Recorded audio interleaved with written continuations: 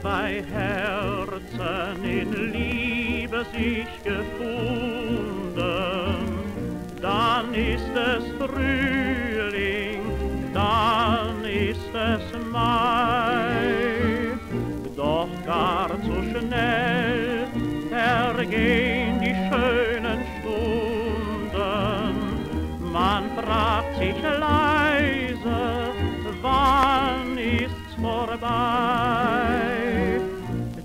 Dann kommt ein Abschied von dem großen Glück,